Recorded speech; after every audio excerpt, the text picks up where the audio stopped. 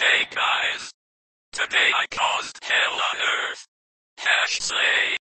Sorry it was just because I was feeling girl boss. All the single ladies. All the single ladies. Anyways, remember to drink your slay juice every day. Or else, you can't be hash girl boss. P.S. Her mom likes pizza.